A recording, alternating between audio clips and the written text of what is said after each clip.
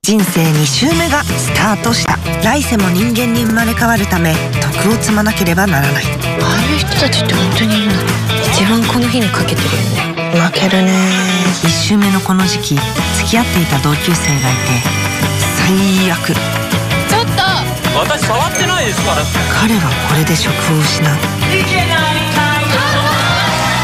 ュージシャンになるのはやめた方がいいと思う。Rebooting only on Gem.